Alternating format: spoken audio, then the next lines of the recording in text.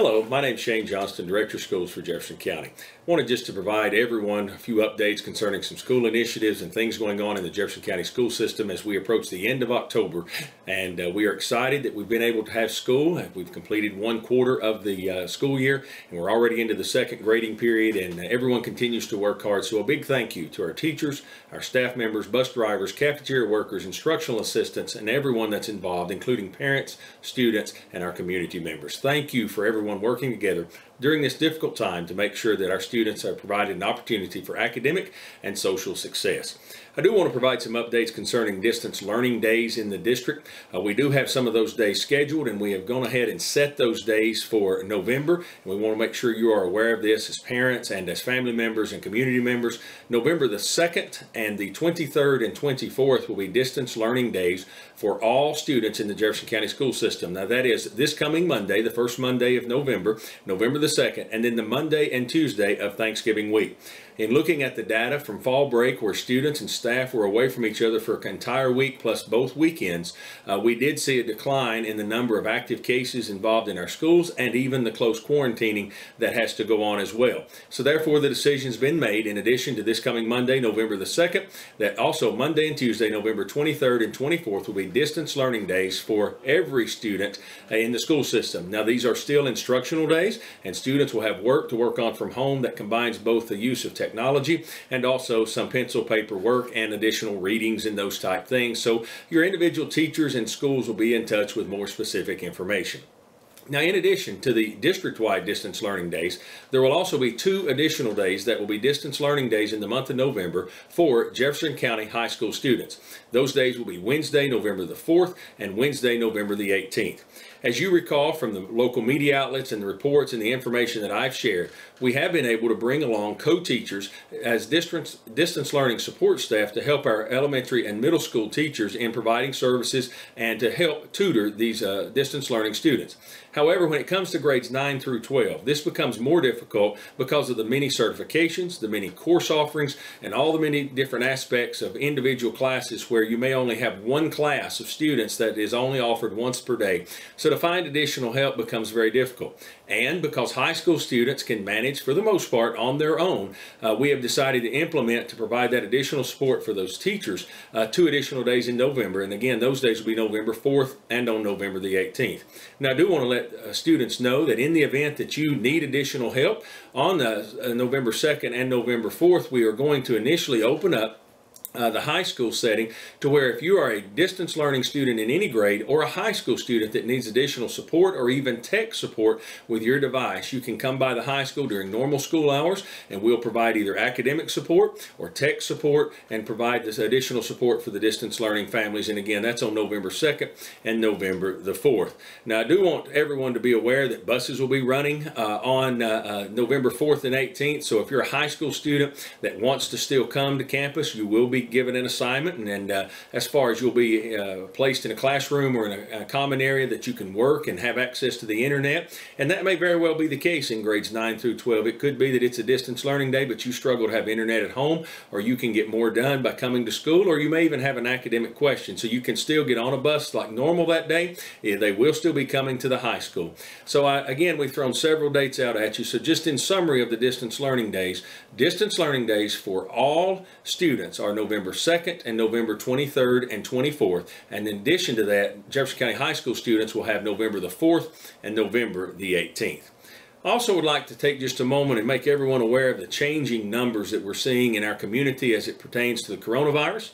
Specifically in the last three, three and a half weeks, we have gone from in the low 90s as the community, and we hit a high mark just a few days ago of about 165, give or take a case or two, active in the community. Now, I want to reassure everyone, we continue to take the safety of all of our staff and students and uh, staff members uh, very, very serious, and we are working to keep everyone as safe as possible. The numbers in the school system have stayed pretty much the same. We remain somewhere between 9 and 15 to 16 active cases at any one point in time time, uh, but the number of close quarantining students continues to go up. Uh, we are actually, we've been much higher than we are as of today when I'm recording this video. Uh, we're somewhere around 110 students that are in quarantine. That number fluctuates each day as students are returning to campus and others are being quarantined as well. But I do want to make you aware as distance learning students are returning to in-person learning and as more and more students are on a campus, we are going to have to continue to monitor this situation because where we were able to distance at a certain amount of space within a classroom, as more students are in a classroom, that becomes more and more difficult. Just simple math. If we had 14 students in a second grade classroom, it was easier to keep them apart than if we have 18 or 20 now in that same classroom. So parents, as we have told you all along, please continue to have a plan in place. And in the event that we have to modify what we're doing due to active COVID cases or just simply to meet the guidelines of the Tennessee Health Department and the expectations of the local health department in terms of social distancing, uh, keep in mind that we are evaluating this, these numbers and you need to have a plan in place in the event that we were somewhere this school year to have to implement a situation where we had to stagger days and only some students come certain days or in the event whether it is mandated from the state or implemented at the local level where we have to have an extended building uh, closure, you need to have plans in place.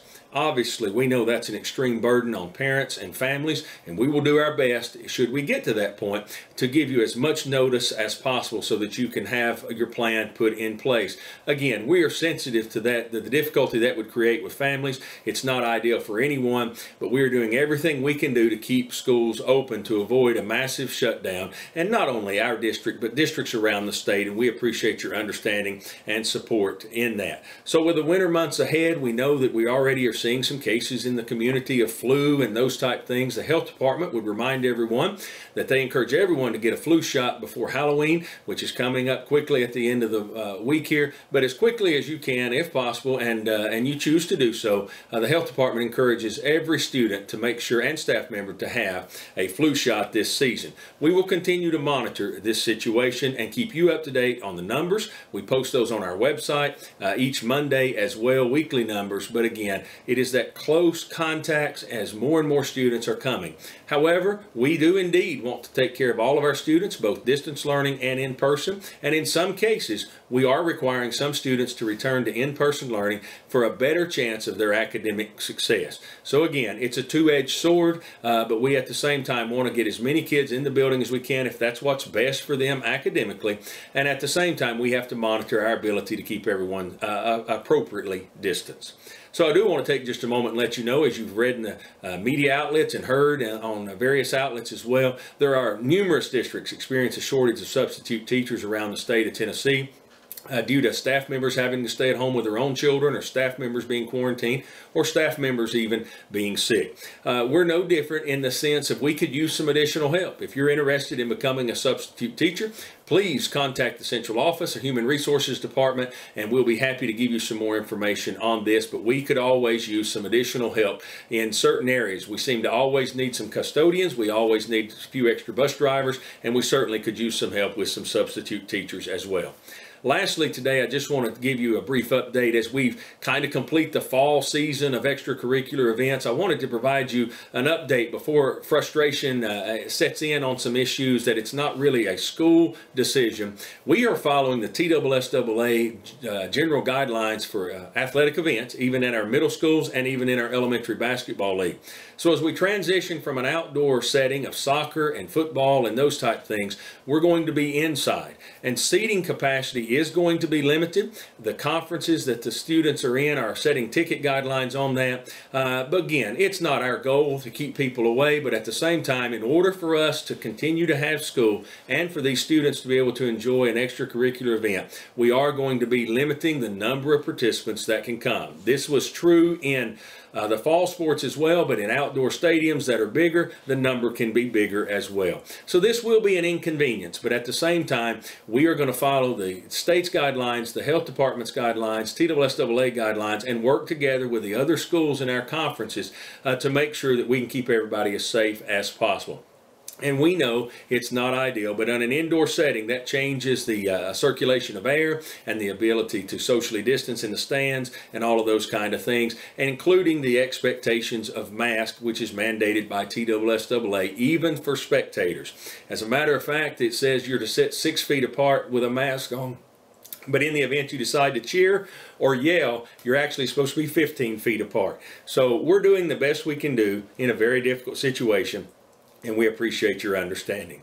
Last announcement today. Remind you this coming Tuesday, one week from uh, uh, tomorrow, next Tuesday, November 3rd is election day, and there will be no school for students or staff on that day as the local election commission utilizes multiple campuses for voting. So again, there will be no school on Tuesday, November the 3rd for students or parents. Thank you for everything that you do. Together, I'm confident we can continue to provide a high quality educational experience to every student. May we all continue to work together to help our students and staff be successful. Thank you and have a great day.